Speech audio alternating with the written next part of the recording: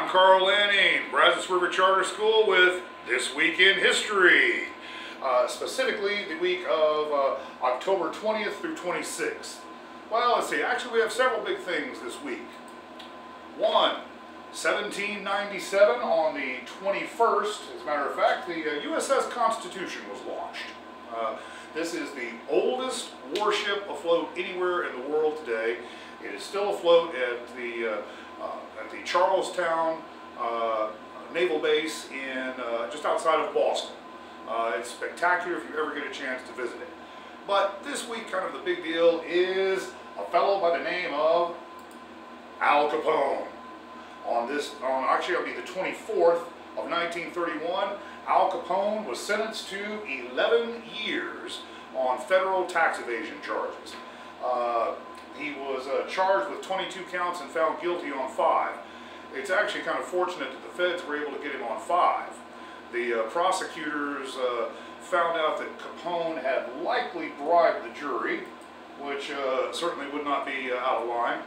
Uh, so just to be safe, the judge actually did switch the jury from with one that was a trial that was being held down the down the hall, one that hadn't been bribed. Uh, and that's how they were able to get him. Uh, Capone's mob career uh, began actually when he was a fairly young man. He was identified as a young man of promise uh, and did various small jobs for the mob. Uh, the, uh, the three distinct scars on his face, here, here, and there was another one kind of on the, on the neck, uh, came when he was 18 years old. He was working as a bartender slash bouncer at a mob-owned bar. Um, a mobster came in with his girlfriend and his sister, and apparently Al was kind of smitten with the sister. And so he kept trying to flirt with her throughout the night.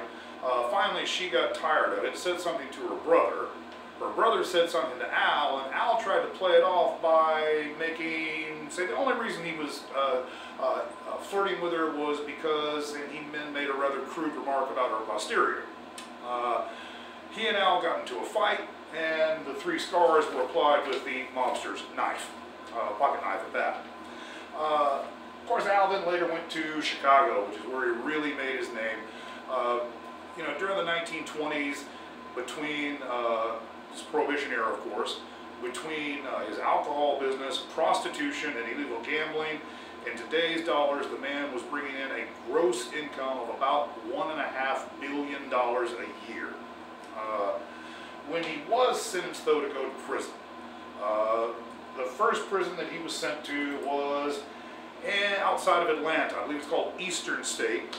This was his cell. Uh, he lived a very comfortable life.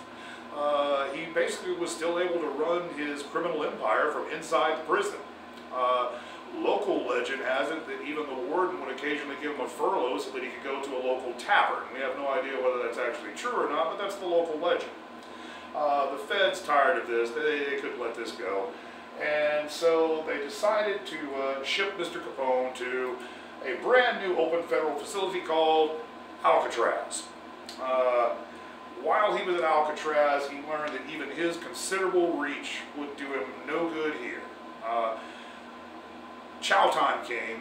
He went to the head of the line as he was accustomed to doing a Texas bank robber who I believe also had murdered the bank guard on his way out. He was serving a life sentence there.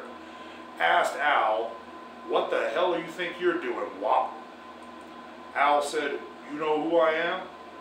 The Texan said, yeah, I know who you are, and I'll tell people I know who you were unless you get your ass to the back of the line. Kind of went downhill from there for Al. Uh, he started entertaining the prisoners by playing the banjo.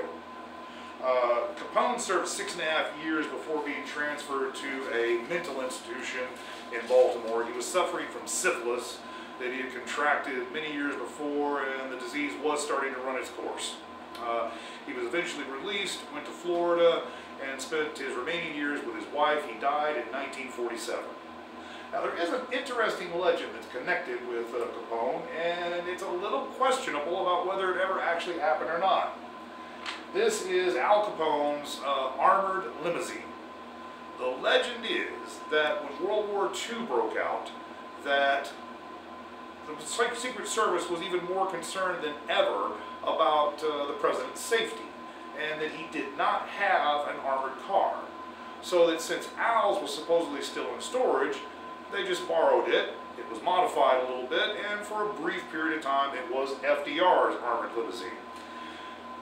We really can't verify whether that story is true or not. Um, it kind of seems like maybe it's not, but like I said, it, it's really hard to verify one way or the other. Uh, but too bad, because if that were the case, that may have been the only good thing to ever come of Al Capone's life. Well, thank you for joining us, and we look forward to seeing you right here next week for next week's installment of This Week in History.